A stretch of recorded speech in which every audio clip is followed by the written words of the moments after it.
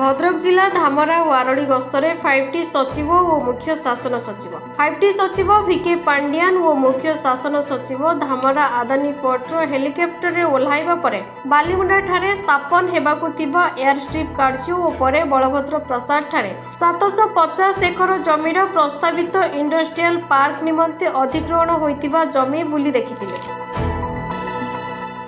ଆଜି ଆଜି ମାନ୍ୟବର ମୁଖ୍ୟମନ୍ତ୍ରୀଙ୍କର ନିର୍ଦ୍ଦେଶ କ୍ରମେ ମୁଁ ଏବଂ ଫାଇଭ୍ ଟି ସେକ୍ରେଟାରୀ ତା ଛଡ଼ା ଜିଲ୍ଲାପାଳ ଆସିକି ବାବା ଅଖଣ୍ଡଳମଣିଙ୍କ ମନ୍ଦିର ବୁଲିକି ଦେଖିଲୁ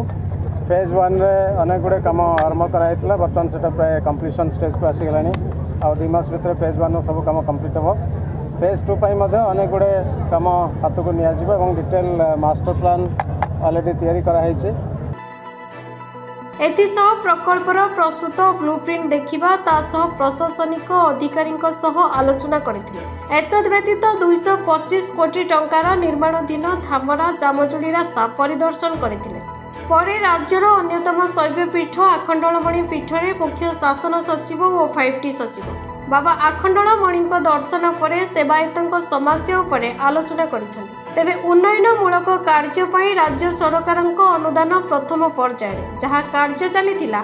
ତାହା ଏବେ ଅନ୍ତିମ ପର୍ଯ୍ୟାୟରେ ପହଞ୍ଚିଛି ଦୁଇ ମାସ ମଧ୍ୟରେ ସମ୍ପୂର୍ଣ୍ଣ ହେବ ପୀଠରେ ଆଉ ଯାହା ସବୁ ସମସ୍ୟା ରହିଛି ଦ୍ୱିତୀୟ ପର୍ଯ୍ୟାୟରେ ଅନେକ କାମ ହାତକୁ ନିଆଯିବ ଏଥିପାଇଁ ମାଷ୍ଟର ପ୍ଲାନ୍ ପ୍ରସ୍ତୁତ ହୋଇସାରିଛି ସମସ୍ତଙ୍କ ସହଯୋଗ ରହିଲେ ଖୁବ୍ ଶୀଘ୍ର କାମ ସମ୍ପୂର୍ଣ୍ଣ ହେବ ବୋଲି ମୁଖ୍ୟ ଶାସନ ସଚିବ କହିଛନ୍ତି ସେବାୟତଙ୍କ ଯାହା ସମସ୍ୟା ରହିଛି ତାହାକୁ ଗୁରୁତ୍ୱ ଦିଆଯାଇ ସମାଧାନ କରିବା ପାଇଁ ପଦକ୍ଷେପ ନିଆଯିବ